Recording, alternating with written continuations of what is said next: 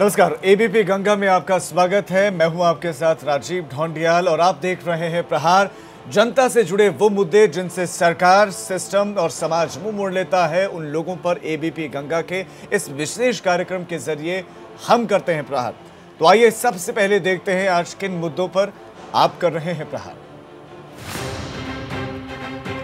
मेरठ में पलायन के मामले पर एडीजी मेरठ रेंज का बयान। प्रहार नगर में पलायन जैसा कोई मामला नहीं, अपनी मर्ज़ी से कुछ लोगों ने बेचे अपने मकान, बीजेपी पार्षद ने लगाया था। प्रहार नगर में लोगों के पलायन करने पर मजबूर होने का आरोप। फ़िल्म आर्टिकल 15 के खिलाफ ब्राह्मण समाज का प्रदर्शन जारी। यूपी और उत्तराखंड के कई शहरों में लोगों ने फ़िल्म के पोस्टर जलाकर किया विरोध। फ़िल्म पर प्रतिबंध लगाने की मांग कर रहे प्रदर्शनकारी।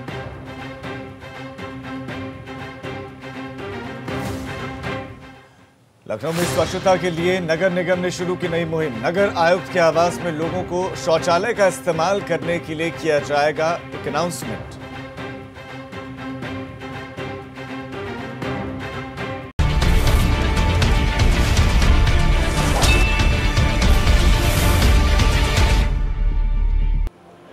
तो शुरुआत करते हैं अपने पहले प्रहार की। पश्चिमी उत्तर प्रदेश में करीब एक साल के बाद एक बार फिर पलायन का जिन बाहर निकला है।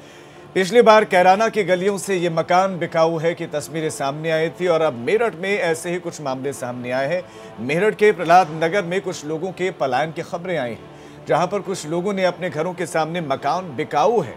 ये तख्तियाँ लटका रखी हैं। मेरठ रेंज के एडीजी प्रशांत कुमार ने खुद मौके पर जाकर मामले की पड़ताल की, जिसके बाद उन्होंने साफ़ किया कि प्रहलाद नगर में पलायन जैसा कोई मामला नहीं है। और जो लोग अपने घर बेच रहे हैं, उसकी वजह कोई विवाद नहीं है, बल्कि मकान मालिकों की अपनी मर्ज़ी है। लेकिन स्थानीय पार्षद का कहना है कि इलाके में होने वाली गुंडागर्दी और असामाजिक गतिविधियों की वजह से लोग यहाँ से अपने घर छोड़कर जाने लगे हैं। लेकिन इस पूरे मामले पर प्रयाग नगर में लोगों की अगर बात करें तो जब उनसे बात की गई तो उनका भी कहना है कि लोगों को उनके मकान की अच्छी कीमत मिल रही है। तो बड़ा सवाल ये है कि आखिर मेरठ में पलायन का सच क्या है? क्यों किसी के घर बेचने को धार्मिक रंग देने की कोशिशें की जा रही हैं?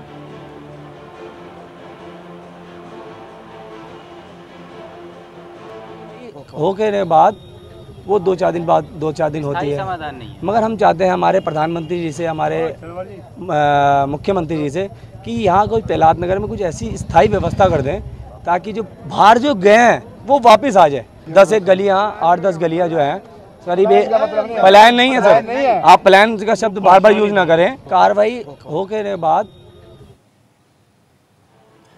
तो पूरा मामला आपने जाना एक खास पैनल हमारे साथ जुड़ गया है। खास पैनल से आपको मिलवा दूँ। हमारे साथ शलभ मणि त्रिपाठी जी जुड़े हैं। लखनऊ से बीजेपी के प्रवक्ता हैं। शलभ मणि जी बहुत बहुत स्वागत है आपका। हमारे साथ सीपी राय जुड़े हैं। प्रसपा के प्रवक्ता हैं। सीपी राय जी बहुत बहुत स्वागत है आपका। इसके साथ साथ वरिष्ठ पत्रकार विजय उपाध्याय जी हमारे साथ जुड़े हैं।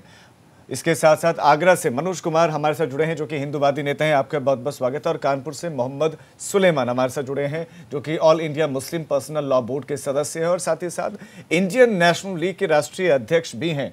सबसे पहले शलभ मणि त्रिपाठी जी, आप ही के पास आना चाहूँगा मैं। ये पलायन का मामला है क्या? बीजेपी के पार्षद कहते हैं कि पलायन किया जा रहा है, एक धार्मिक रंग देने की कोशिश कर रहे हैं, क्योंकि परेशानी, परेशान वहाँ पर किया जा रहा है, इसलिए पलायन हो रहा है। ईडीजी जाते हैं, जाँच करते हैं तो ऐसा कुछ नहीं पाते हैं। नहीं देखिए ये ये बात सही है कि कुछ लोग वहाँ से अपने घर छोड़कर गए हैं और छोड़कर नहीं बल्कि अपने घर बेच कर गए हैं।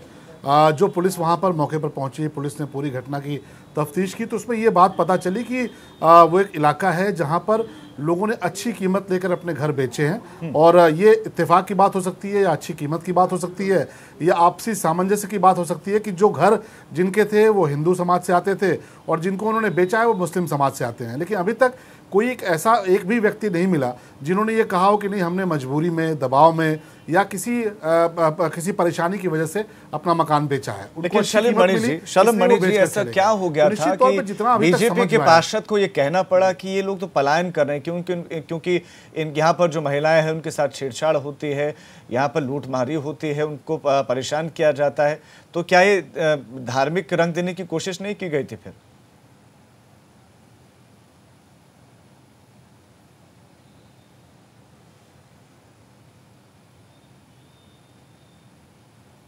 क्या मेरी आवाज़ आपको मिल रही है शलम मणि जी?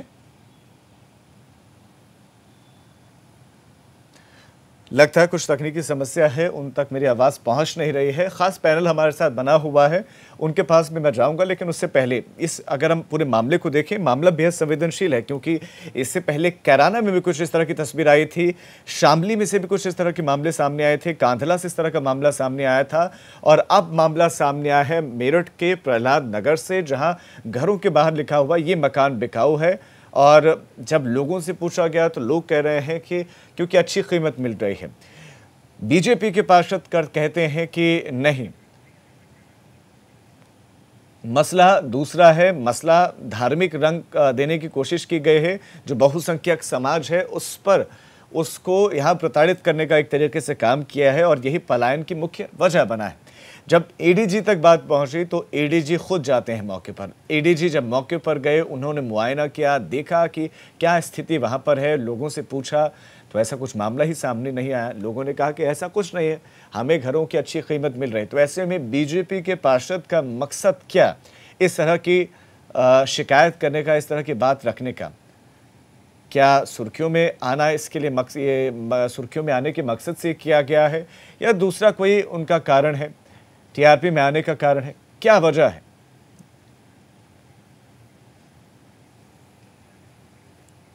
तो हमारे साथ जो है ख़ास मेहमान जुड़े हुए हैं। लखनऊ में जाऊँ, इसके साथ साथ हमारे साथ मनोज कुमार जी भी इस वक्त जुड़े हुए हिंदुवादी नेता हैं और मोहम्मद सुलेमान हमारे साथ जुड़े हैं। सबसे पहले मनोज कुमार जी, मैं आपके पास आना चाहूँगा। पार्षद कहते हैं कि बड़ी समस्या है, बड़ी परेशानियाँ हैं। योगी की सरकार है क्या आपको लगता है कि योगी की सरकार में भी इस तरह की परेशानियाँ बहुसंख्यक समाज को झेलनी पड़ रही हैं पहले तो मैं आपको बधाई देता हूँ कि आपके चैनल के माध्यम से ये विषय उठाया जा रहा है हम्म। मेरठ में मेरठ का ये विषय है मेरठ नहीं पूरे भारत का विषय है हम्म। मैं आपको अगर विषय को थोड़ा सा समझाने का कोशिश करूँगा हम्म। कि जब देश आज़ाद हो रहा था तो जिन्ना और नेहरू ये दो पार्टीशन के दो हिस्सा बने। नेहरू भारत में रहे और जिन्ना पाकिस्तान में। हम्म। मुसलमान पाकिस्तान में रहना चाहते थे और बहुसंख्यक समाज जो हिंदू था माफ़ कीजिएगा मैं यहाँ पर ऐतराज जताऊँगा हिंदू नहीं। हिंदू था वो भारत में था। मैं मैं मैं आपको भारत में सभी धर्मों के लोग रहना चाहते थे और रहते हैं। बताना चाहता हूँ क्योंकि भारत में आज सभी धर्मों क्योंकि ये एक जो है का विषय अलग हटके है पर ये पलायन से जुड़ा हुआ है। नहीं आप पलायन पर आइए। आप मेरठ वाले मुद्दे पर आइए क्या हुआ क्या नहीं हुआ पूरा इतिहास सबने पढ़ा हुआ है। आप अभी के मुद्दे पर आइए। मैं जी।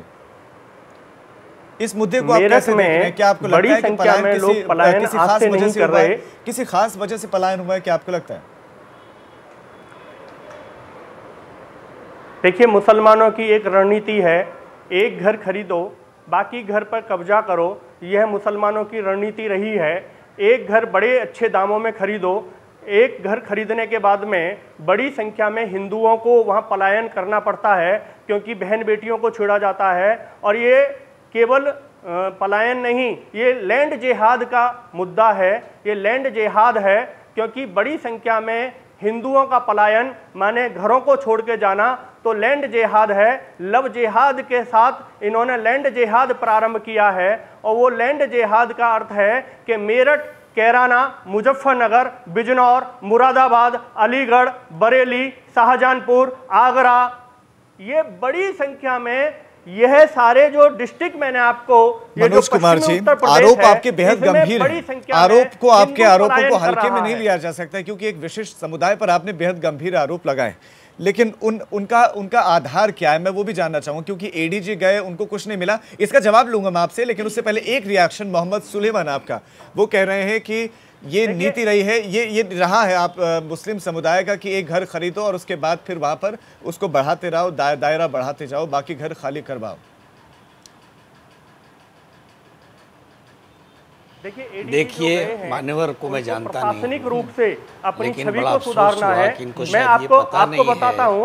उनको पता नहीं है ये पता नहीं है इनको कि आज से दो साल पहले आज से दो साल पहले शामली और मुजफ्फरनगर का मामला पलायन पर आया था और उसके बाद एडीजीपी ने जाँच की बाकायदा डीजीपी ने बाकायदा रिपोर्ट भेजी।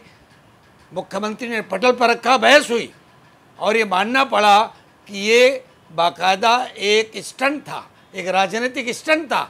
लोगों ने अपने रोज़गार के लिए शामली मुजफ्फरनगर से दूसरे शहरों में बसा जाकर कारपेंटर्स थे बढ़ई थे और लोग थे नाई थे छोटे छोटे जो बेचारे हमारे दस्तकार होते हैं उनको शामली मुजफ्फरनगर जैसे कस्बों में कारोबार अच्छा कीमत अच्छी नहीं मिलती थी। तो वो जाकर कुछ लोग नूह में बस गए कुछ लोग गुड़गांव में बस गए और उन्होंने बाकायदा बयान दिया हमारी लेकिन, लेकिन हम अपने जिहाद अवसर के लिए आए हैं। मनोज कुमार और आज जो आज जो है आज जो है मेरठ आज जो है मेरठ के बाद मेरठ के बाद लैंड ये they always coin the phrases ये इस तरह देखिए ये फ्रेज बकायदा बनाते हैं मौलवी जी जो कह रहे हैं बना करके इस तरह की बातें करते हैं जिससे ध्रुवीकरण की राजनीति की जा सके। और ध्रुवीकरण की राजनीति के ही माध्यम से ये राज सत्ता पे कब्जा किए हैं। और ये जानते हैं कि इसको ध्रुवीकरण रह के करते रहो। अरे भाई सरकार आपकी है। केंद्र में सरकार आपकी है।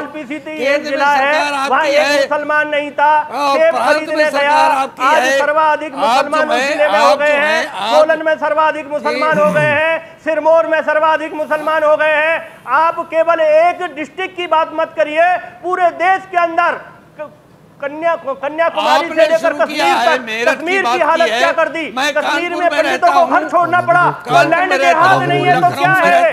कश्मीर में बहन बेटियों की जंगाओं पर अल्लाह अकबर लिख दिया गया ये लैंड जिहाद नहीं है तो क्या है? कश्मीर में छातियों को उखाड़ दिया गया छोटे बच्चों को हवा में उछाल कर गोलियाँ मार दी गई। ये लैंड जिहाद नहीं है तो क्या है? कश्मीर में सत्ता परिवर्तन है। लैंड जिहाद से अल्लाह अकबर की एक अल्लाह अकबर का नारा गुंजान करने का एक तकदीर है ये नारे आपके मकसद है। ये नारे आपके जो हैं देश के राजनीति को संक्रमित करेंगे।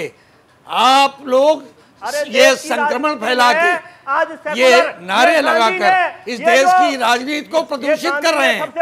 आपने राजनीति गंभीरता को अगर एक एक करके मनोज बदल दिया है। मनोज जी मनोज जी मनोज जी एक बार फिर से हम मुद्दे पर वापस आते हैं एक बार फिर से परिवर्तित कर दिया ठीक है मुद्दे पर वापस आते हैं दूसरे गैस के पास में मैं जाऊँगा। चर्चा नहीं होती है। गंभीर चर्चा वाकई हमें यहाँ पर चर्चा करने के लिए बैठे हैं चीखने चिल्लाने के लिए नहीं। मैं शलभ मणि जी आपके पास आना चाहूँगा। शलभ मणि जी अगर बीजेपी पार्षद की बयान को हम सुने बीजेपी पार्षद के बयान को अगर हम आधार बनाते हुए सवाल पूछे तो सवाल यही उठेगा कि योगी सरकार में कौन परेशान कर रहा है भैया? तो योगी सरकार में भी लोग परेशान हो रहे हैं खासतौर पर वो वर्ग जिनका हितेशी मुख्यमंत्री को माना जाता है। आदेश कीजिए जाँच कीजिए। आप इस तरह के नारे देखिए मैंने ये कहा ना कि इस पूरी समस्या को हम 50-55 मिनट में समझ नहीं सकते। जी। हमें इसको समझने के लिए थोड़ा पीछे जाना पड़ेगा। जब देश आज़ाद हुआ था तो हिंदुस्तान में जो मुस्लिम भाइयों की आबादी थी वो सात आठ प्रतिशत के आसपास थी। आज की तारीख में उन्नीस परसेंट के आसपास मुस्लिम आबादी हो चुकी है। तो बहुत से ऐसे इलाके हैं जहाँ पर भौगोलिक स्थिति सामाजिक स्थिति बदली है। और मेरठ में जो हो रहा है। मैं आप दोनों से अपील करूँगा गुजारिश करूँगा कि कृपया कृपया दूसरे लोगों को भी बोलने दें आपके पास जब मैं आऊँगा तो आप अपनी बात रखिएगा। ऐसे चीखने चिल्लाने से कहीं ना कहीं ये सही नहीं है। ये एक डिस्कशन की मर्यादा के भी खिलाफ है। आप हमारे अतिथि हैं इसलिए मैं आपसे गुजारिश करूँगा।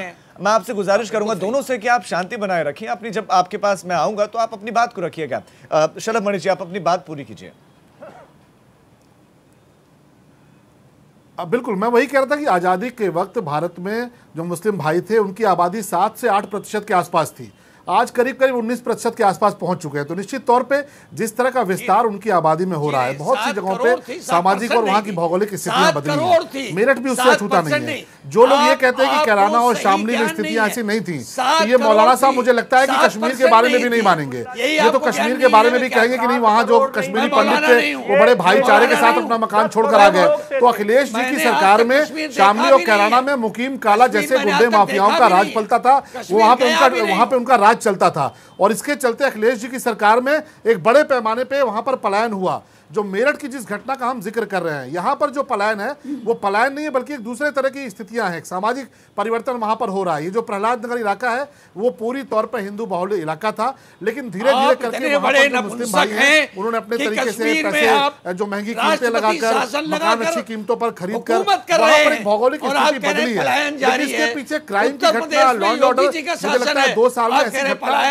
मोहम्मद सुलेमान जी मैं आपत्ति ज़ाहिर करूँगा इस तरह के शब्दों आप सुनना भी सीखिए। आप केवल चिल्लाएँगे तो आपकी बात आप केवल चिल्लाएँगे। आपके चिल्लाने से आपका झूठ सच साबित होगा। लगाना जानते मौलाना साहब आपके चिल्लाने से आपका झूठ जो है सत्य में नहीं बदलेगा। भाई कश्मीरी पंडितों को भी आप कहेंगे कि वो अपने से छोड़ के चले आए। तो अपनी बात सुनिए पहले स्थितियाँ मेरठ की स्थिति कानून व्यवस्था से जुड़ी स्थिति नहीं है। वहाँ पर मुस्लिम आबादी बढ़ी है। मुस्लिम लोगों ने वहाँ पे मकान खरीदने शुरू किए हैं। वहाँ पर अभी तक कोई ऐसा इंसिडेंट नहीं हुआ। जिसमें कोई हिंदू भाई ये बोले कि नहीं साहब शलम मणि जी तो वही तो मेरा सवाल है शलम मणि जी मेरा भी सवाल आप सुनिए। मेरा सवाल ये है कि प्रदेश में तो योगी की सरकार है केंद्र में भी योगी की सरकार है। तो ऐसे में लोगों को किससे डर लग रहा है? लोगों को क्यों वहाँ पर डर लग रहा है? या फिर उस डर को हटा नहीं पा रहे योगी सरकार? तो फेलोर किसका है यहाँ पर? पलायन मौलाना साहब को पहले चुप कराइएगा तो उसके बाद यहाँ डिबेट हो पाएगी।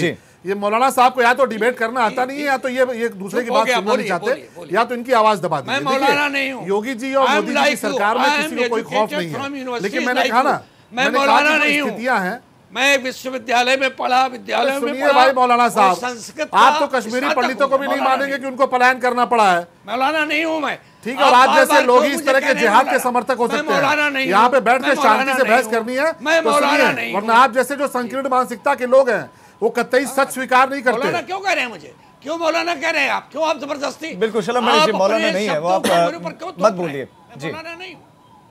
जी शलम मणि जी अपनी बात रखिए दूसरे पैनल अच्छा, चलिए ठीक है मौलाना नहीं है पर जिस तरह की हरकतें कर रहे हैं। देखिए राजीव जी ऐसा है आ, मैंने कहा ना कि वहाँ पर कोई कानून व्यवस्था के चलते मकान बेचकर जा रहा हो ऐसी स्थितियाँ नहीं है। ये स्थितियाँ दो साल पहले अखिलेश जी की सरकार में थी। अखिलेश जी की सरकार में वहाँ पर गुंडे माफियाओं का बोलबाला था। वहाँ पे तमाम आपने देखा होगा मुजफ्फरनगर के दंगे हुए। वहाँ पर बहनों के साथ छेड़खानी होती थी। अब यहाँ जो मेरठ की प्रहलाद नगर की घटना है वो दूसरे तरह की घटना है। ठीक है यानी कि आप इसको कह रहे हैं कि एक धार्मिक एक तरीके से दबाव है और दबाव के कारण पलायन किया जा रहा है। किया जा रहा है देवेंद्र सिंह जी क्या आपको भी लगता है। कि क्या किसी डर के कारण यहाँ पलायन हो रहा है। अगर जो हुआ है क्योंकि एडीजी तो इनकार कर रहे हैं पूरी तरह से। देवेंद्र सिंह। माननीय मोदी जी के मोहम्मद सुलेमान मैं आपसे भी आपसे भी अनुरोध करूँगा। मैं आपके पास आऊँगा तो अपनी बात रखिएगा। आराम से हम आराम से डिस्कशन को आगे बढ़ाएँगे। जी धैर्य मौलाना साहब को चुप कराइए भाई। राजीव जी जी। राजीव जी राजीव जी जी। ये बड़ा गंभीर विषय है कि बीजेपी के पार्षद ने इस तरह की टिप्पणी की है।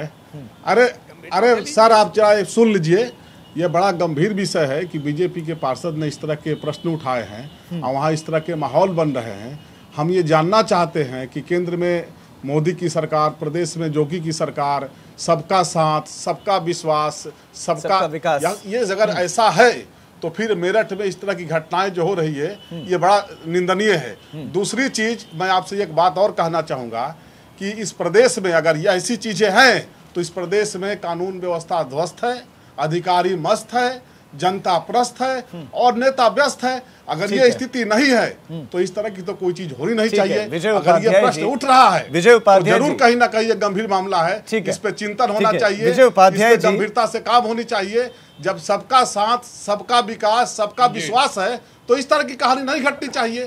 ठीक है गंभीरता से इसको लेना चाहिए। बाकी गंभीरता से इसको लिया जाना चाहिए। बीजेपी के पार्षद की अगर बात आ, माने उनके अगर आरोपों को माने तो वो कह रहे हैं कि वहाँ पर पलायन किसी खास धर्म समुदाय की वजह से प्रताड़ित करने की वजह से हुआ है। एडीजी जाते हैं वो कुछ भी सच नहीं पाते हैं। तो आप इस मसले को किस तरीके से देख रहे हैं? क्या वाकई धार्मिक एंगल दिया जा रहा है या ध्रुवीकरण की यहाँ पर कोशिश है? लेकिन अभी से ध्रुवीकरण की कोशिश क्यों? आपको क्या लगता है इस मसले पर क्या किया जा रहा है अभी? नहीं देखिए एडीजी ने क्या कहा है आप कह रहे हैं कि उन्होंने कुछ नहीं पाया है लेकिन मेरी हिसाब से एडीजी ने पाया है। आम लोग भी कह रहे हैं। हमने आम लोगों के बयान भी सुनाए विजय उपाध्याय हमारे मकान बेच रहे हैं। हम्म, आम लोग भी ये कह रहे हैं नहीं मैं बता रहा हूँ ना एडीजी का कल का बयान है उन्होंने कल जी जी जी। देखिए साहब एक मिनट एक एक बात बताइए राजू जी ये संविधान का मसला है हम्म। संविधान ने सबको हर जगह रहने का संपत्ति बनाने का संपत्ति बेचने का अधिकार दिया है हम्म। लेकिन इस बात का बड़ा सवाल है कि क्या वजह है कि उस इलाके में लोगों को ज़्यादा कीमत मिल रही है और लोग मकान बेच रहे हैं क्यों अपने पुश्तैनी मकानों से लोग बेदखल होना चाहते हैं हम्म। इस पे ही सारी डिबेट अगर केंद्रित की जाए तो इस मसले की सारी समस्या पे हम रोशनी डाल सकेंगे। और उत्तर प्रदेश में अभी तक जहाँ जहाँ ये बात आ, सामने आई है कि आ, आ, लोग मकान बेच के जा रहे हैं उन सब जगहों पे एक धर्म विशेष के लोगों के साथ इस तरह की घटना हो रही है। कहीं साबित नहीं हुई है ज़्यादा मिलने का तर्क दिया जा रहा है। दबाव या डर से विशेष समुदाय के लोग ही उस वहाँ पर ज़मीन खरीद रहे हैं या मकीन मकानों को खरीद रहे हैं साबित नहीं हुआ कहीं साबित नहीं हुआ। तो आप डिबेट क्यों करा रहे हैं फिर? सवाल यही ना कि बीजेपी के पार्षद जो कह रहे हैं तो वो किस आधार पर कह रहे हैं? क्या बीजेपी यहाँ ध्रुवीकरण की राजनीति की कोशिश कर रही है? देखिए वहाँ प्रह... नहीं नहीं आप मेरी बात समझिए। मैं हम्म। क्या कह रहा हूँ जो तथ्य हैं वो मैं आपको बता रहा हूँ। प्रहलाद नगर की जो समिति है वहाँ रेजिडेंट वेलफेयर कमेटी है उसके हम्म। मिस्टर चड्डा अध्यक्ष हैं। पानी मंगा दो और चड्डा साहब ने कल एडीजी एलओ को बताया एडीजी को बताया प्रशांत कुमार को कि साहब यहाँ पे अराजकता है बहनों बेटियों को निकलने में जाने में आने में दिक्कतें हैं हम लोग परेशान हैं इसलिए यहाँ लोग मकान बेच के बाहर जाना चाहते हैं। इसकी वजह क्या है? देखिए हम मिश्रित आबादी में रहने की हमें आदत डालनी चाहिए। हमारा धर्म हमारा संविधान है और हमारा धर्म ये कहता हमारा संविधान ये कहता है कि सभी धर्मों को बराबर का सम्मान मिल, मिलना चाहिए चाहे वो हिंदू हो चाहे मुसलमान हो।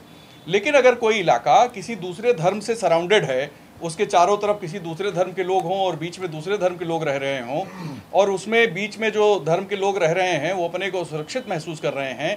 ये बात ए डी कितना भी छिपाएँ डॉक्टर लक्ष्मीकांत वाजपेयी वहाँ के पूर्व विधायक हैं भाजपा के प्रदेश अध्यक्ष हैं उनके बयान कल के हैं। उन्होंने कहा है कि यहाँ अराजकता है अधिकारी कुछ काम नहीं कर रहे हैं और अराजकता की वजह से लोग मकान बेचने को मजबूर हैं। हम्म। तो जो ये अराजकता है इस अराजकता की वजह अच्छा दूसरी बात यह है कि ज़्यादा कीमत क्यों मिल रही है? ये अपने आप में एक एक बड़ा सवाल खड़ा करता है कि कहीं अगर हिंदू किसी मुसलमान की प्रॉपर्टी को ज़्यादा कीमत दे के खरीद रहे हैं तो उनका उनकी मंशा क्या है? इस बात की बहुत ही गहराई से छानबीन होनी चाहिए। ये हमारे सेकुलर ढांचे को चोट पहुँचाने वाली बात लेकिन क्यों? ऐसा ये, ये, किस, किस आधार पर कहा हमारे मकान की ज़्यादा कीमत क्यों दी जा रही है? ठीक है मनोज जी आपके पास मैं आना चाहूँगा। प्रदेश में योगी सरकार है। कहा जा सकता वहाँ एडीजी ने सुनिए ना मिस्टर राजीव जी। राजीव जी एडीजी ने ये आज ये भी कहा है कि साहब वहाँ लोगों ने मकान बेचे हैं और दूसरे इलाके तो में जाके बड़ा मकान ज़्यादा कीमत मिली हमने एडीजी का बयान भी चलाया हमने लोगों का बयान भी सुनाया। हमने तो लोगों के बयान भी सुना है जिनके घर थे बकायदा घरों पर हम गए हैं। एबीपी गंगा वहाँ गया है। मनोज जी मैं आपको डिस्कशन में लाना चाहूँगा कि मान लिया मान लिया चलो मान लिया ठीक है मनोज जी मैंने मान लिया कि मान लिया एक विशेष समुदाय की तरफ़ से वहाँ पर प्रताड़ित किया जा रहा मान लिया। तो प्रदेश में तो योगी की सरकार है फिर वो क्यों असुरक्षित वहाँ पर महसूस कर रहे हैं? झंडा बरदार हैं झंडा बुलंद करके चलते हैं हिंदुत्व का और संरक्षण देने की बात करते हैं तो फिर उसके बाद भी वहाँ पर लोगों में असुरक्षा का माहौल क्यों है? लोग डरे हुए क्यों हैं? पार्षद वहाँ पर बीजेपी के हैं उसके बाद भी। देखिए मैं योगी जी से संतुष्ट नहीं है तो ब्रह्मा जी के सामने अपील करे कि संगठन मंत्री रहा। जन्म ले। मैं एक एक जानकारी देता हूँ। शरीर में मैं आपको एक जानकारी देता हूँ कि 2004 से 2007 तक विश्व हिंदू परिषद का संगठन मंत्री रहा। हम्म। वहाँ एक बैंक कॉलोनी है। बैंक कॉलोनी में आज सर्वाधिक माने मुसलमानों ने घर खरीद लिए हैं और वो केवल 10 साल के अंदर बैंक कॉलोनी, बैंक में कर्मचारी रहते थे, उन्होंने अपने लिए बनाई थी, पर एक घर में मुसलमान घुसा, आज बैंक कॉलोनी खाली हो गई। आज जो आपने विषय छेड़ा है कि भाई योगी जी की सरकार केंद्र में भी है और उत्तर प्रदेश में भी है, जब से सबका साथ और सबके विकास की बात आई है, सबका विकास, ये इसका अर्थ है, सबका साथ इसका ये अर्थ है कि मुसलमानों ने ये मन कर लिया है कि अब हम भाजपा से डरने वाले नहीं हैं अब हम कोई हिंदूवादी संगठनों से डरने वाले नहीं हैं संघ से डरने वाले तो नहीं हैं। संघ उन्नीस सौ बानवे उन्नीस बानवे साल की तपस्या। हैं भाजपा से डरेंगे।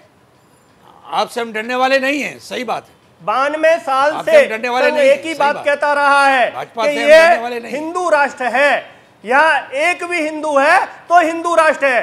पर आज सर्वाधिक संवैधानिक मुसलमान ये संवैधानिक भारत राष्ट्र है भारत राष्ट्र है। संकल्प लेकर अरे तो आप कर क्या रहे भाई मनोज कुमार जी?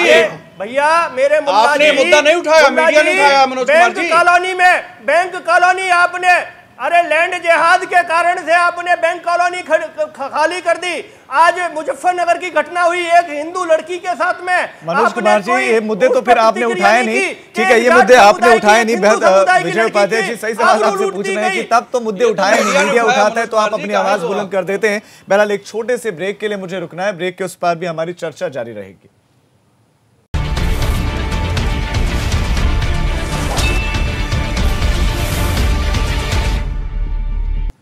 ब्रेक के बाद आप सभी का स्वागत है। तो चर्चा हमारी लगातार जारी है। खास पैनल, खास मेहमान भी हमारे साथ जुड़े हुए हैं। शलभ मणि त्रिपाठी, बीजेपी के प्रवक्ता, देवेंद्र सिंह प्रसपा प्रवक्ता विजय उपाध्याय वरिष्ठ पत्रकार और मनोज कुमार हमारे साथ जुड़े हिंदुवादी नेता हैं और हमारे साथ मोहम्मद सुलेमान जुड़े हैं, जो कि all India Muslim personal law board के सदस्य हैं और इसके साथ साथ इंडियन नेशनल लीग के राष्ट्रीय अध्यक्ष भी हैं। मैं आप ही के पास आना चाहूँगा, मोहम्मद सुलेमान। एक पॉइंट विजय उपाध्याय जी ने उठाया था और उनका ये कहना, उनका ये मानना है कि इस पर बहुत बारीकी से विश्लेषण होना चाहिए, बारीकी से इस पर जाँच होनी चाहिए कि आखिर क्यों मुस्लिम समुदाय के लोगों को इतना इंटरेस्ट जा गया उस विशेष हिस्से में कि वो ज़्यादा कीमत पर भी वहाँ मकानों को खरीदना चाहते हैं।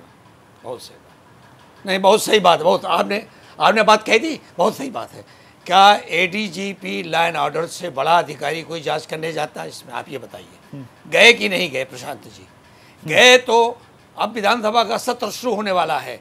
इनसे कहिए कि आपकी पार्टी सत्ता में है। एडीजीपी की जाँच रिपोर्ट पटल पर रखवाइए ये ये वरिष्ठ पत्रकार है वो वरिष्ठ पत्रकार हैं वो किसी पार्टी के सदस्य नहीं है मोहम्मद सुलेमान वो वरिष्ठ पत्रकार हैं मेरी बात सुनिए। हम्म। अच्छा ठीक है। पत्रकार है अगर पत्रकार हैं तो अगर अगर पत्रकार हैं तो पत्रकारिता का तकाजा ये है कि एडीजीपी लाइन ऑर्डर की जाँच पर विश्वास हमें करना चाहिए। हम्म। उनकी जाँच पर हमें उनकी प्रतीक्षा करनी चाहिए। और अगर वो जाँच डीजीपी को नहीं सबमिट की अभी तक तो वो करे और डीजीपी उसको जो है गृह मंत्रालय को भेजे।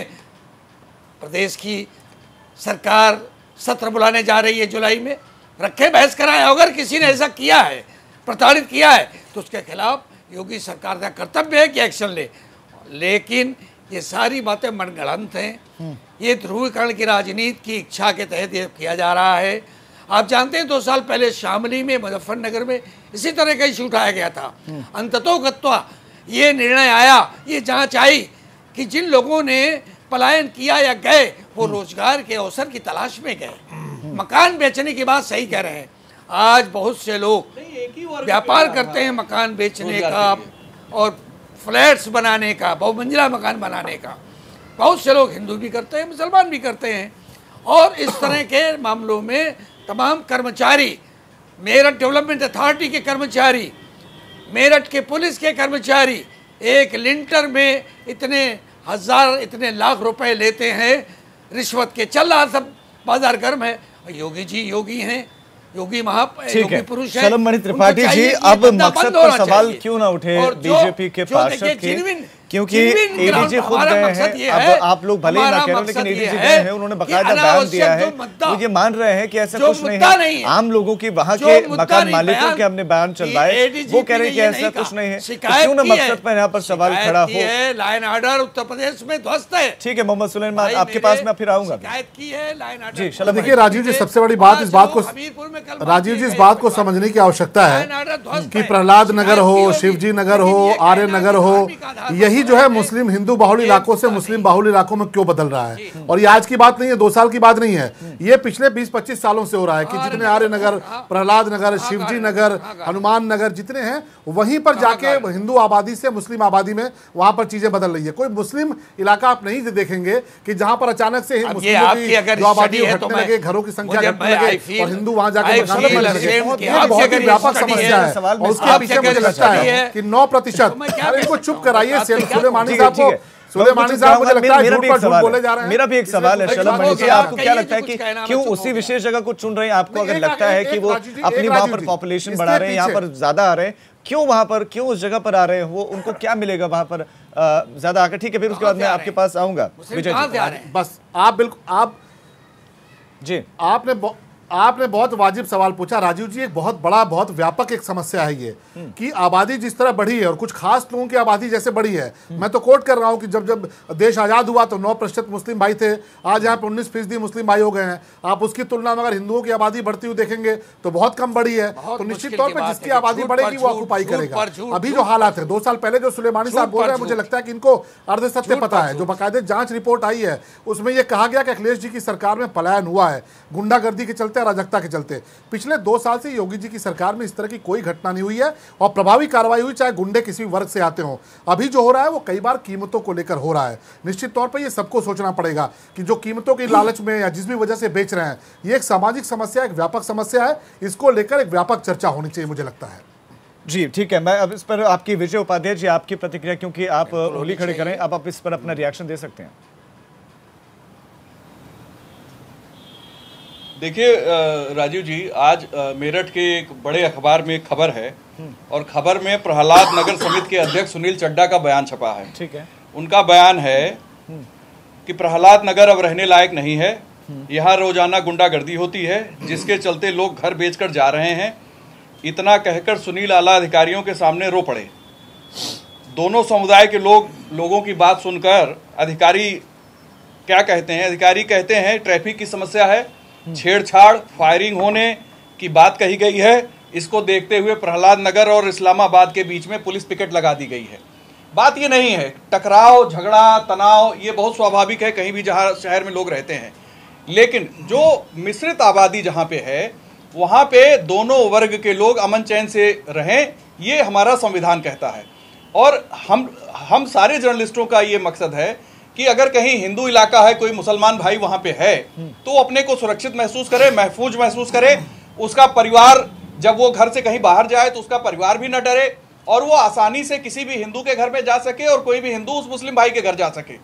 लेकिन ऐसे ही जहाँ भी मुस्लिम समुदाय जाता है और कोई दो दो चार दस घर हिंदू है वहाँ पे तो हिंदुओं के को भी उतने ही महफूज माहौल मिलना चाहिए। ये हमारे संविधान का मकसद वाकई महफूज और जब ऐसी स्थिति कहीं बिगड़ती है ठीक है बिल्कुल अगले प्रहार की ओर अध्यक्ष कह रहे हैं चड्डा साहब मसला बेहद संजीदा हो रहा है तो पलायन क्यों हो रहा है? किन कारणों से हो रहा है? जो कारण यहाँ पर जो दलीलें अलग अलग पार्टियों की विचारधाराओं की तरफ़ से दी जा रही है क्या वही कारण है असल में या दूसरे इसके पीछे के कारण उन कारणों का कहीं ना कहीं पता चलना चाहिए क्योंकि राजनीति इस पर एक लंबे दौर से होती रही है और आगे भी ना हो संजीदा मसलों पर चर्चा हो यही होना भी चाहिए बरल हमारा अगला प्रहार, जो कि इन दिनों एक फ़िल्म लेकर है, जो कि बेहद सुर्खियों में भी, जिसका नाम है आर्टिकल 15 आर्टिकल 15 आज ये फ़िल्म सिनेमाघरों में रिलीज़ भी कर दी गई है, लेकिन ब्राह्मण समाज आर्टिकल 15 का विरोध कर रहा है। दरअसल, ये फ़िल्म यूपी में तीन साल पहले एक बदायूं कांड हुआ था, जिसमें दो बहनों की हत्या कर दी गई थी, उस पर आधारित है।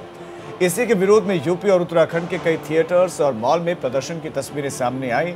हरिद्वार में ब्राह्मण सभा और परशुराम सेना जैसे संगठनों ने सिनेमा हॉल पर फ़िल्म के पोस्टर, बैनर चलाए फ़िल्म पर रोक की मांग की। इसके अलावा, यूपी के कानपुर, इसके साथ साथ अलीगढ़, प्रयागराज, आगरा तमाम जगहों से विरोध की तस्वीरें सामने आई, विरोध प्रदर्शन हुआ। और ब्राह्मण समाज का आरोप यह है कि फ़िल्म में समाज की छवि को धूमिल किया गया है। तो सवाल उठता है कि क्या आखिर फ़िल्म में ऐसा क्या है? जिसकी वजह से ब्राह्मण समाज इस फ़िल्म का विरोध कर रहा है क्या वाकई फ़िल्म में कुछ ऐसा है जिसकी वजह से इस पर प्रतिबंध की मांग उठ रही है। खास पैनल हमारे साथ बना हुआ है। सबसे पहला सवाल मनोज कुमार जी आप ही के आप ही से है। सवाल ये है कि सवाल क्यों? बहरहाल, पहले, उससे पहले तस्वीरों को हम दिखा देते हैं। मैं आपके पास आऊँगा। ये तस्वीरें कानपुर के प्रयागराज के अलीगढ़ के हरिद्वार की। कुछ तस्वीरें हैं जो हम आपको दिखा रहे हैं। इससे इतर भी कई जगहों से तस्वीरें आई हैं। प्रदर्शन की कई जगहों पर लोगों ने प्रदर्शन किया। तो पुलिस ने कुछ लोगों को हिरासत में भी लिया है। कई जगहों पर पोस्टर जलाए गए हैं। तो आर्टिकल पंद्रह, इस फ़िल्म को बैन करो, ये मांग की गई है। यहाँ पर अब सवाल ये भी है कि क्या अब जातिगत संगठनों से पूछकर फ़िल्मों को रिलीज़ किया जाएगा? क्या वो अब सेंसर बोर्ड बन गए हैं? क्यों इस तरह का प्रदर्शन? और इस तरह के प्रदर्शनों पर रोक क्यों नहीं लगाई जाती जब सेंसर बोर्ड फ़िल्म को पास कर देता है? सवाल ये भी है। तो ये प्रदर्शन अलग अलग हिस्सों से आज देखने को मिला है। ठीक है, अब चर्चा में आगे बढ़ते हैं। और मनोज जी, आपके पास आना चाहूँगा सवाल आपसे। क्या आखिर ऐसा आपको क्या लगता है फ़िल्म में जो, जिसको लेकर आप लोग प्रदर्शन कर रहे हैं, ऐसा क्या आपत्तिजनक आपको लगता है? इस फ़िल्म में है कुछ। राजीव जी देखिए सेंसर बोर्ड जो है वो बिना तथ्यों के आधार पर अपनी सहमति देता है। और एक समाज या बहुसंख्यक समाज हिंदू मैं इसमें ब्राह्मण शब्द नहीं जोड़ूँगा। कल पद्मावती पर एक ऐसे ही जो घटना घटी थी। पद्मावती जौहर जो सोलह हज़ार रानियों के साथ जौहर करती है हिंदू समाज का सम्मान रखती है। आज उस उस पद्मावती को एक झूमर नाच पर उन्होंने जो है का किस प्रकार से अपमानित किया? मनोज कुमार जी पहली बात तो ये कि जब इसी इसको लेकर कर्णी सेना ने विरोध किया था तो उनका वो विरोध बाद में पता चला कि फ़िल्म में तो ऐसा कुछ था ही नहीं। पहले तो मेरा सवाल आपसे ये है अब क्या आपने फ़िल्म देखी है जो इसका विरोध कर रहे हैं? देखिए मैं मैंने मैंने भी वो फ़िल्म देखी है। नहीं नहीं मैं, क्या मैंने भी वो फ़िल्म देखी, देखी है आपने? मैं आपको ये बताता हूँ सेंसर बोर्ड जो है ये फ़िल्म मैंने नहीं देखी है हम्म। पर किसी भी समाज की अगर व्यक्तिगत आहत होती है समाज को तो ऐसी फ़िल्म रिलीज़ नहीं करनी चाहिए जिससे समाज और देश के अंदर ही नहीं है तो वो किस आधार पर कह सकता है कि फ़िल्म में कुछ खराबी है? देखिए कुछ तो विरोध हो रहा है ना। कहीं से तो चिंगारी लगी है। जब चिंगारी लगी है तो आग तो लगने ही शेष है। भाई आग लगेगी। चिंगारी है तो आग लगेगी। कुछ ना कुछ उस फ़िल्म में ऐसा ज़रूर है जिससे ब्राह्मण समाज की आहत पहुँची है और आज पूरा समाज जो है का प्रदर्शन कर रहा है। मैं अच्छा, यानी कि एक तरीके से ख्याल एक ख्याल बना लिया कि ऐसा कुछ ना कुछ तो होगा ही देवेंद्र सिंह जी। एक अंग है। देवेंद्र सिंह जी पहला सवाल तो है कि क्या आपने फ़िल्म देखी है? और अगर देखिए तो बताइए कि क्या आपको कुछ आपत्तिजनक उसमें लगा? और नहीं देखी है तो फिर आपको लगता है कि इस तरह का विरोध प्रदर्शन जायज़ है? देखिए राजीव राजीव जी राजीव जी मैं फ़िल्म तो देखी नहीं है मैंने नहीं देखा फ़िल्म हम्म। ये कौन सी फ़िल्म है मैंने ऐसी फ़िल्म नहीं देखी है हम्म। लेकिन ये ये ज़रूर कहूँगा कि फ़िल्म इंडस्ट्री को इस सब चीज़ों से थोड़ा सा सोचना चाहिए कि किसी भी धर्म जात या किसी भी चीज़ पे प्रहार ना हो तो अच्छा है लेकिन एक अव्वल बात यह है कि जो फ़िल्म निर्माता है बनवाते हैं वो खुद ही इस पे करवाते हैं बवाल करवाते हैं हाँ। ताकि उनकी फ़िल्म को स्टैंडअप मिले उनकी फ़िल्म चले इस तरह की बवाल बढ़े आपको देखने को तमाम जगह आपने ट्रेलर तो देखा होगा क्या इसमें लगता है कहीं पर भी प्रदर्शन करने लायक इस फ़िल्म में कुछ है? क्या प्रदर्शन करने लायक कुछ है इस फ़िल्म में? क्या आपने देखा? चलो मैं शलभ मणि से सवाल लेता नहीं देखी है लेकिन अगर हम जी शलभ मणि जी क्या आपको लगता है कुछ आपत्तिजनक है और इस तरह का विरोध प्रदर्शन क्या उचित है जब सेंसर बोर्ड जो कि एक बाकायदा संस्था है इस चीज़ को देखने की वो पास कर दे राजीव जी। राजीव जी देखिए इसके पहले भी कई बार ऐसा हुआ है कि सेंसर बोर्ड ने किसी फ़िल्म को पास किया है और उसके बाद उस पर विवाद हुआ है तो उस पर पुनः चर्चा भी हुई है। ऐसा पहली बार नहीं हो रहा है। इसलिए सेंसर बोर्ड ने पास कर दिया है तो कोई चीज़ बिल्कुल सौ फ़ीसदी सही है ये अब नहीं कह सकते।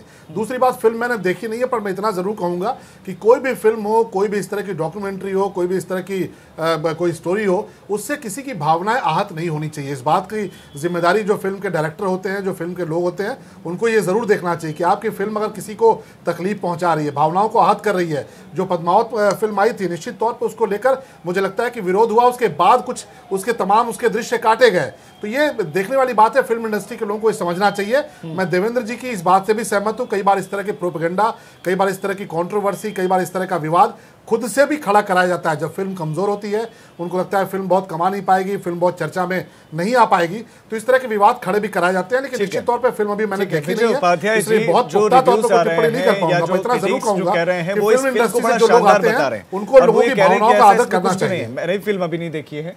लेकिन जो रिव्यूज़ आ रहे हैं या जो लोगों के हम बयान सुनवा रहे हैं लोगों के बयान आ रहे हैं वो कह रहे हैं कि बेहतरीन फ़िल्म है। समानता के अधिकार की फ़िल्म है और इसमें ऐसा कुछ भी नहीं है कि इसमें विरोध हो। तो क्या इस तरह का विरोध सही है? वो भी जब आपने फ़िल्म नहीं देखी है उससे पहले इस तरह का विरोध आप सड़कों पर उतर रहे हैं महज ट्रेलर के आधार पर और उसमें भी शायद ऐसा कुछ भी नहीं है? नहीं देखिए एक तो आ, किसी भी सिनेमा का किसी भी कला का किसी भी अच्छी कहानी का किसी भी अच्छे राइटअप का कोई विरोध नहीं करना चाहिए, चाहे किसी भी धर्म का व्यक्ति हो। और जहाँ तक बात भावनाओं को आहत करने की है तो समाज की भी ज़िम्मेदारी है कि सभी वर्गों का ध्यान रखे, किसी की भी भावनाओं को आहत न करे, किसी को नीच न कहे, किसी को दलित न कहे, किसी को बुरा न कहे, और सबको समान काम करने का और अच्छे से जीने का मौका मिले। मंदिर मस्जिद जाने की सबको छूट हो, कुएँ में पानी भरने की सबको छूट हो, उनकी भावनाओं को आप आहत मत करिए। तो ये होना चाहिए। इस फ़िल्म में मुझे लगता है कि एक तो ये जो देवेंद्र जी कह रहे हैं कि शायद विवाद जानबूझकर कराया जा रहा है, दूसरी बात यह है कि बदायूं कांड उत्तर प्रदेश में जब घटना घटी थी तो यूएनओ तक उस मामले पर चिंता जताई गई थी। और इस कांड में उस जाति के लोग शामिल नहीं थे कहीं से भी जिस जाति को फ़िल्म में शामिल कर दिया गया है और कहा जा रहा है बदायूं कांड से जुड़ी हुई है। तो बदायूं कांड से तो जाति का रिश्ता ही नहीं था, इस जाति का, जिस जाति को जोड़कर फ़िल्म बनाई गई और जो जाति इसका विरोध कर रही है। तो ये तो कोई सामंजस्य उसमें नहीं है, लेकिन फ़िल्म की प्रोपोगंडा के लिए इसको बदायूं कांड बता दिया गया। अब बदायूं कांड में दो बहनों ने अपने, उनकी पेड़ पे मरी हुई मिली थी, कहा गया, रेप करके उनको मार दिया गया। एक बड़ा भारी मसला उछला था सपा सरकार के जमाने में। लेकिन मैं ऐसी ढेर सारी चीज़ें हैं जहाँ ब्राह्मणवाद का जो कर्मकांड है वो ब्राह्मणों जो ब्राह्मणवाद के तहत कुछ जातियों को दबाया जाता है उनके साथ भेदभाव किया जाता है उसका लगातार इस समाज में विरोध होता रहा और लंबे अरसे से विरोध हो रहा है और आज से नहीं हो रहा हज़ारों साल से विरोध हो रहा। लेकिन इसके बावजूद ये इसके अवशेष अभी भी बचे हुए हैं।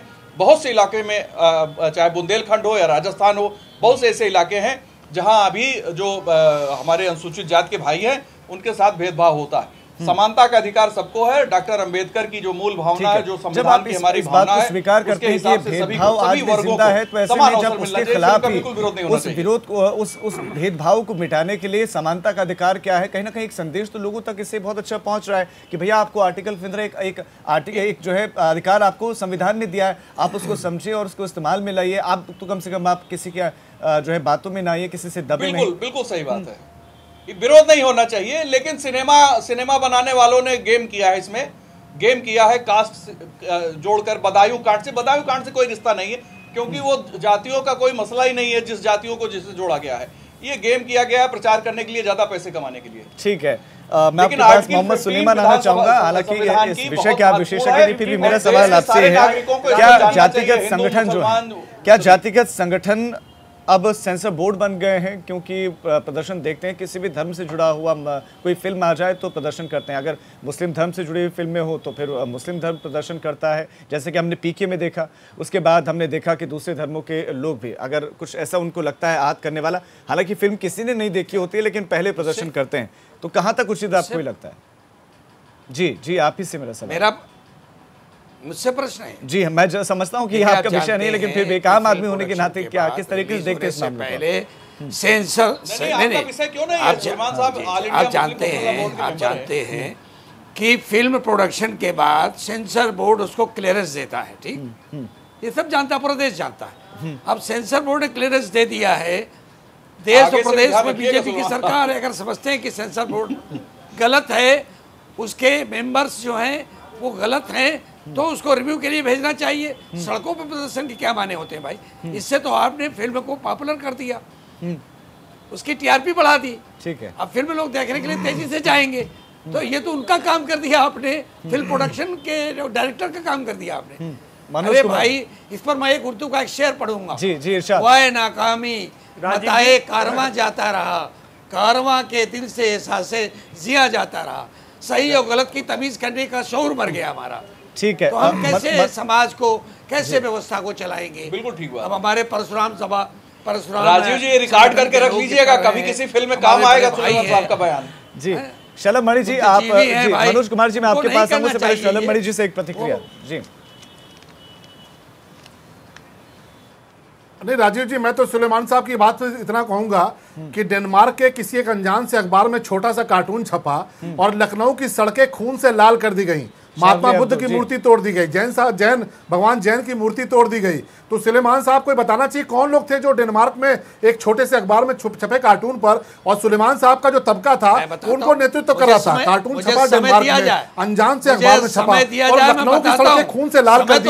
तो ऐसे आंदोलन जायज़ ठहराते हैं सुलेमान साहब। और आज एक समाज अगर अपने आंदोलन को लेकर आवाज़ खड़ी कर रहा है और लोकतांत्रिक ढंग से खड़ी कर रहा है। तो ये उस पर मज़े ले रहे हैं। तो मुझे लगता है कि ये इनका डबल स्टैंडर्ड है।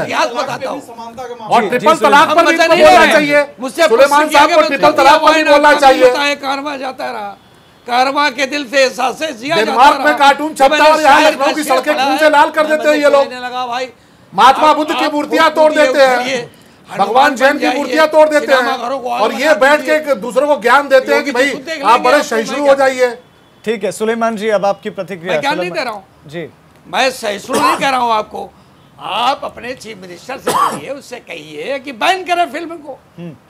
सेंसर बोर्ड को रिकॉन्स्टिट्यूट करें। आपके भी चीफ मिनिस्टर होना चाहिए आपके चीफ मिनिस्टर नहीं है क्या सुलेमान साहब? आप सरकार में बैठे हैं उत्पाद मचा रहे हैं उत्पाती बन गए आपके मुख्यमंत्री और प्रधानमंत्री नहीं है क्या? उत्पाती बन गए हैं। अब सरकार में बैठे हैं लाइन ऑर्डर अपने हाथ में लेते हैं। आपको अपनी सरकार पर विश्वास नहीं है। आपको योगी जी पर विश्वास नहीं है।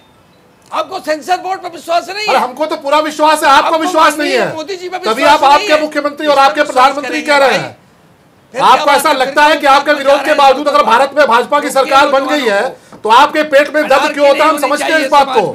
लेकिन आपकी जो भाषा है वो गैर लोकतांत्रिक है क्योंकि आप कहते हैं कि आपके मुख्यमंत्री आपके प्रधानमंत्री डेनमार्क में है की सड़कें करवाते हो। और यहाँ एक समाज को आप ज्ञान दे रहे हैं बैठ के आपके समाज को ज्ञान दे रहे लोकतांत्रिक ढंग से अपना विरोध भी न तो करें। डेनमार्क के डेनमार्क के छोटे से छपा। और आपके नेतृत्व में लखनऊ में तमाम बेकसूरों को मारा गया। ये सड़कें खून से लाल कर दी गई। और आप बैठ के ज्ञान रहे हैं। आप बैठ के ज्ञान दे रहे हैं कि विरोध मत करिए। अरे साहब किसी को तकलीफ़ होगी तो विरोध करेगा। आपको काहे तकलीफ़ हो रही है?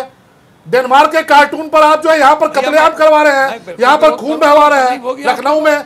डेनमार्क का डी भी आप नहीं जानते होंगे। और जो समाज विरोध कर रहा है उसको आप ज्ञान बांच रहे हैं बैठ के। आपके प्रधानमंत्री आपके मुख्यमंत्री अरे हिंदुस्तान में रहते नहीं रहते आप? हिंदुस्तान का खाते पीते हैं कि नहीं खाते पीते तो आपके प्रधानमंत्री आपके मुख्यमंत्री ये कौन सा शब्द है आपका हमारे भी अरे आपके भी मुख्यमंत्री है। आपका दिल स्वीकार करे न करे। हम तो चाहते हैं आपको लोकतंत्र स्वीकार कराएगा। बाबा साहब भीमराव अंबेडकर का संविधान स्वीकार कराएगा। सुलेमानी साहब अकेले बाथरूम में जाकर बैठकर रोते रहिएगा। लेकिन उत्तर प्रदेश ठीक है आपको स्वीकार करना पड़ेगा। सवाल अब आपसे ठीक है ठीक है मेरा सवाल है मनोज जी मेरा सवाल आपसे ये है क्या आप झंडा तो बुलंद करते हैं हिंदुत्व का। अभी आप कह रहे हैं कि हिंदुओं के खिलाफ है लेकिन सवाल ये है कि तब आप लोग कहा थे जब केरल में हिंदुओं को प्रताड़ित किया जा रहा था? तब आप कहा थे जब कश्मीर में हिंदुओं को प्रताड़ित किया गया था वहाँ से किया गया? मैं जानता हूँ कि संविधान क्या कहता तब आप लोग झंडा नहीं बुलंद करते। हैं। मैं जानता हूँ कि प्लूरलिस्टिक सोसाइटी क्या होती है। ये राजीव जी हम कश्मीर में भी लड़ रहे थे और हम केरल में भी लड़ रहे थे। हम कश्मीर में भी लड़ रहे थे। हम केरल में भी लड़ रहे थे। मैं आपको इस विषय पर एक बात कहना चाहता हूँ इस देश के अंदर से जाति व्यवस्था खत्म करके वर्ण व्यवस्था लागू की जाए तो देश महान होगा। सबका साथ सबका विकास की बात होगी। देश के अंदर जब तक जातिवाद रहेगा जब तक क्षेत्रवाद रहेगा जब तक प्रांतवाद रहेगा जब तक भाषावाद रहेगा उसी के खिलाफ भारत तो एक नहीं हो सकता। भारत को एक करने के लिए भारत को एक करने के लिए हमको वर्ण व्यवस्था लागू करनी पड़ेगी आज वर्ण व्यवस्था के आधार पर जो जिस काम को करता है वही उसका मौलिक अधिकार बन, बनना चाहिए देखिएगा मनोज जी एक बार ज़रूर फ़िल्म ज़रूर देखिएगा उसके बाद आप विरोध कीजिएगा जी देखिए हिंदुस्तान बाबा भीमराव अंबेडकर ने जो सब साहब को हज़रत साहब एक मूवी बनी थी वो देखिए जरा देखिए एक एक एक एक दिलाई वो एक राजनीतिक परिवार ये देश लोकतंत्र से चलेगा ये देश कानून से चलेगा देखिए लोकतांत्रिक व्यवस्था में इस तरह की बात नहीं होनी चाहिए। ये देश लोकतंत्र से चलेगा ये देश कानून से चलेगा देश कानून से चलेगा। ना ये देश जात से चलेगा ना बिरादरी चलेगा ना धर्म से चलेगा। तो ये बात सबको समझनी पड़ेगी इस देश में और इस तरह की बातें नहीं सुलेमानी साहब को समझाइए ये बात। ठीक है। वो इस बात को समझते नहीं है सुलेमानी साहब। आपके मुख्यमंत्री और आपके प्रधानमंत्री बताते हैं तीस सेकंड आपको देता हूँ तीस सेकंड अपनी बात देश के बाहर से पाँच बीवी पच्चीस बच्चे की बात समझते हैं। तो सुलेमानी साहब तो पाँच बीवी पच्चीस बच्चे की बात समझते हैं। लैंड के हाथ से लब के हाथ कश्मीर को खाली करा दो केरल को खाली करा दो बंगाल हलाला के समर्थक बड़ी संख्या में यही सुना मैं। तो चूँकि वक्त की कमी है तो ऐसे में मुझे आप सभी को रोकना होगा क्योंकि बहस में हम देख रहे हैं कि सभी लोग एक साथ बोल रहे थे लेकिन ये मसला बेहद संजीदा है। कि एक डायरेक्टर एक एक्टर और उसके पीछे जो बड़ी टीम होती है, वो बड़ी मेहनत से फ़िल्म को बनाती है। उसके बाद एक सरकारी बाकायदा प्रक्रिया है कि सेंसर बोर्ड चेक करता है कि क्या ये हमारे देश के किसी विशिष्ट समुदाय के हितों को तो आहित नहीं करता, क्या उनको ठेस तो नहीं पहुंचाता है? इसके साथ साथ तमाम दूसरे पैरामीटर्स होते हैं। उन पैरामीटर्स पर फ़िल्म को चेक किया जाता है और उसके बाद उसको पास किया जाता है। लेकिन उसके बाद फिर इस तरह का प्रदर्शन जब किसी ने फ़िल्म देखी ना हो तो कहीं ना कहीं उचित नहीं है और सरकारों की भी ज़िम्मेदारी होनी चाहिए कि जब फ़िल्म सेंसर बोर्ड से पास हो गई तो वो उस फ़िल्म को चलाए, सही तरीके से चलाए। मेरा आज के प्रहार में फ़िलहाल इतना है।